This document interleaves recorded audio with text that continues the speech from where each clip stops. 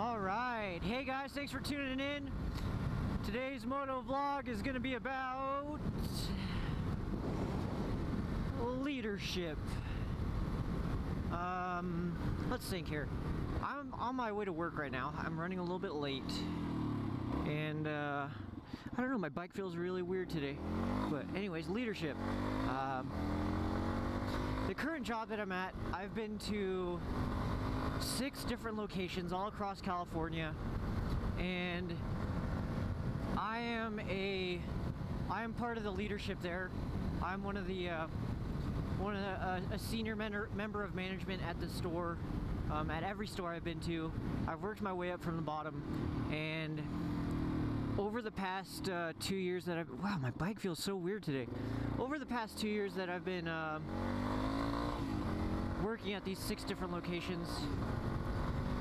The success of the company really depends on the it, on the ability of the leadership to lead. And one of the biggest things that I've seen um, cripple the business has been lack of communication. And it's just it's so many different so many different things that can make or break a a company, but the one most the most important thing that I've seen so far um, is lack of communication will absolutely destroy any any ability for a wow everything is so spongy today I don't know why um, will absolutely destroy any capability of succeeding.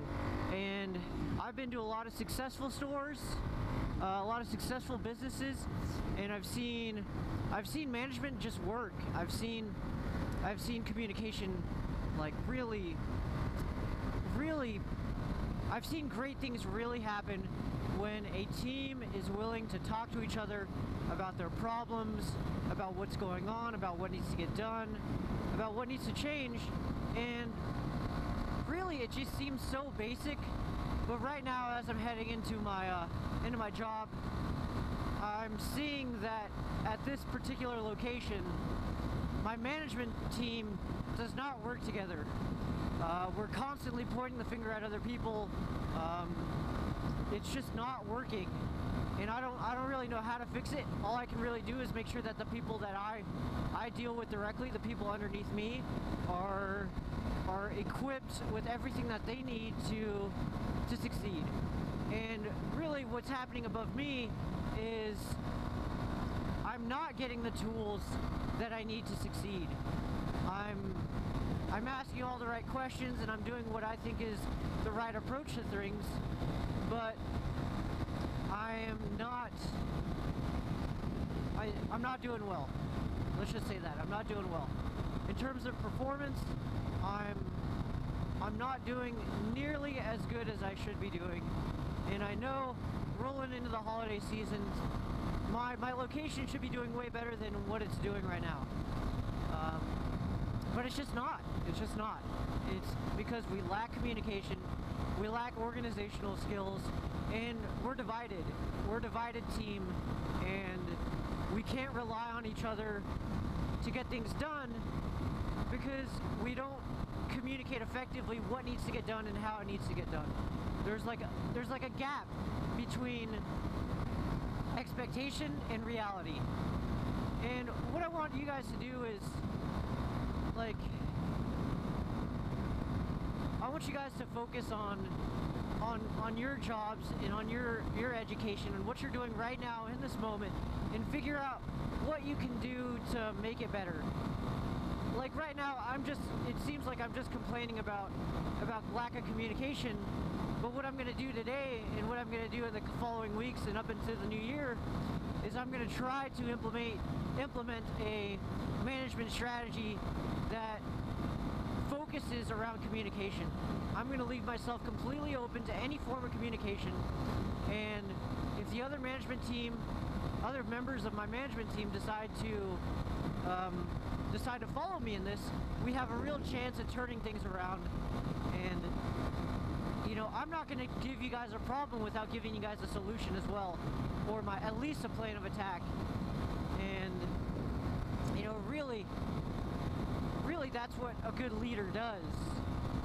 A leader doesn't doesn't tell you what's wrong and then leave you to fix it. They tell you what's wrong and then they give you an explanation of what they expect for next time.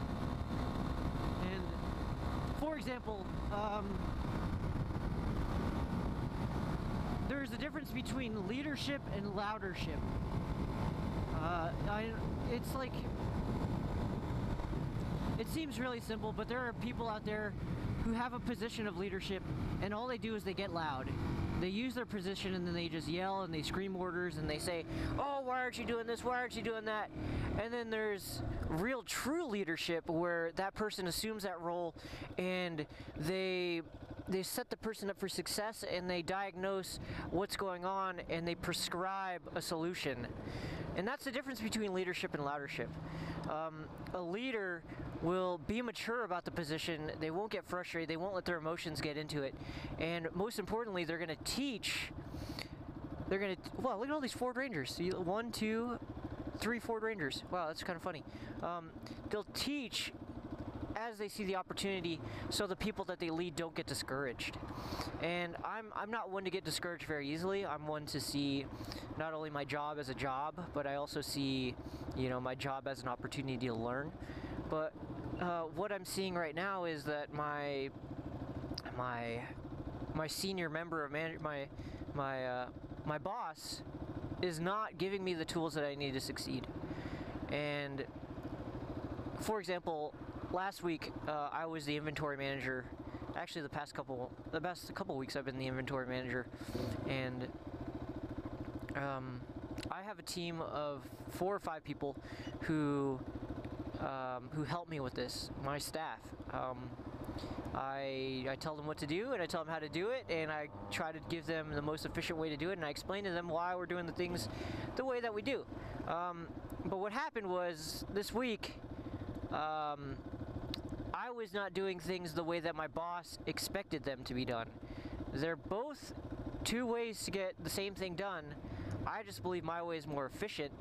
Um, but anyways, uh, there are were a couple of things that I had honestly um, I had made mistakes with, and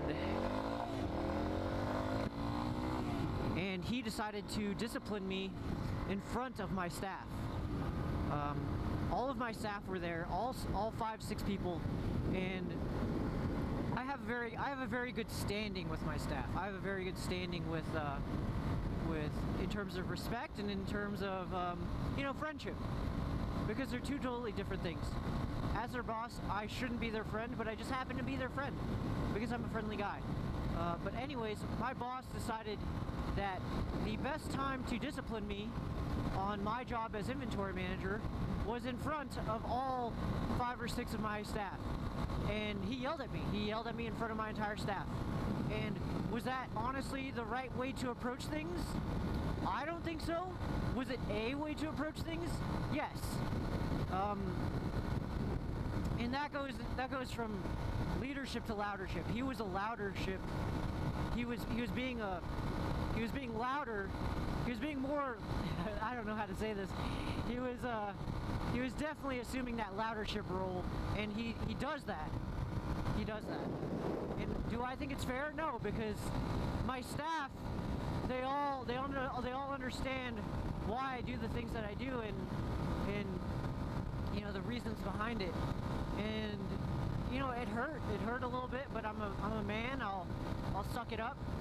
But it was just in that moment that I realized hey I'm a better leader than that. And my staff knows it. Because was it disrespectful? Yes. Of course my my boss is my boss. It's my job to it's my job to do what he says but there was a different way to approach it that would have been a lot more mature and it would have been to take me into the office and say, well, first, in front of all my staff, being like, hey, um, this wasn't done properly, you know, this is how it needs to be done, and then call me into the office afterwards and discipline me there. But instead, he chose to discipline me in front of my staff and then not offer a solution. So it was like a, it was like a double whammy. Um, and you know, you, if you are in a leadership role, you have to choose whether or not you're going to lead or you're going to be loud. And I want you guys to make the most of every opportunity.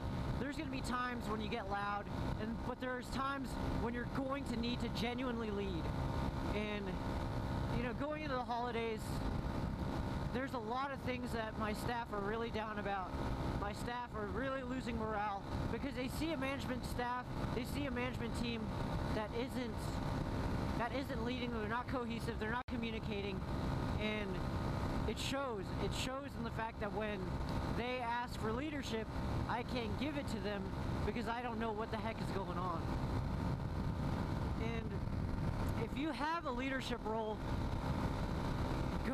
and communicate with your other leaders and figure out how to do your job better and figure out what exactly your game plan needs to be because your job hinges on it.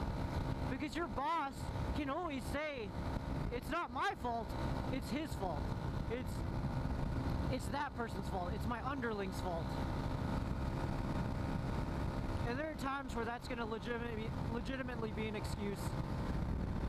But you have to figure out just how much of that you're willing to take and how much you're willing to subject your your staff members to. And it gets really tiring really fast, let me tell you that. It gets really tiring really freaking fast. Because I'm a hard worker, I communicate effectively, but it goes in this situation it just oh man i don't know what's going on my brakes just don't just feels like everything's so slow. Um my staff they look to me for leadership and i look to my my higher ups for leadership and i'm just not getting it. So it looks like i'm a bad looks like i'm a bad leader but in reality you know i just don't have i don't have everything on lock yet you know i'm today i'm gonna go in with an open mind and i'm gonna say hey boss man um, I don't think our communication is working very well. What can I do differently in terms of making sure that what you say gets done? Um, you know, it's kind of tricky because my boss is really, really bad at that. And um, I'm really good at using my marching orders and uh, in getting and getting that crap done because that's the kind of person I am. I'm a go-getter. I don't make excuses. I just uh, I just do it. But honestly, this is not an excuse. This is just this is just the true facts, you know. As crappy as that sounds, because um, I don't like complaining to you guys about it, but there's a lesson here. There is a, there's a lesson about communication and leadership versus loudership. And I want you guys to be leaders because you're gonna you're gonna find that life life has a tons of life has tons of opportunity um, and if you have a, a, a role of leadership you you really you really need to be that light in people's day because you dictate the pace you dictate the tempo of what's going on. Whether it's your family whether it's your relationship whether it's your job whether it's your education you either have to lead yourself and those around you or you have to just suck it up and uh, and just do it. Just deal with all the garbage and um, I don't know. I don't know if this is gonna make it into a vlog because you know I, I hate being negative about things, but this is just like such a huge deal, and there's such a big lesson to be learned that really you guys can benefit from it, and I know you guys can. So I don't know, guys. Um, guys, thank you, thank you, thank you so much for tuning in, and um, if you guys have any questions or comments about leadership, about loudership, and about, you know, communication, just uh, feel free to drop it in the comments. If you want to hear more about this life lesson stuff, you know, feel free to shoot me a topic in the comments and I'll talk about it. And uh, I'll give my two cents on it. But uh, I hope you guys enjoyed the video. And just remember, who you are, what your real true character is, is what you do when no one's watching. And I hope you guys have a great day. Oh man, it just uh, just kills me. Kills me. I have to go into this and you know, I've been thinking about it all week, but uh, anyways, no one's watching. Have a great day, guys. Until next time, peace out.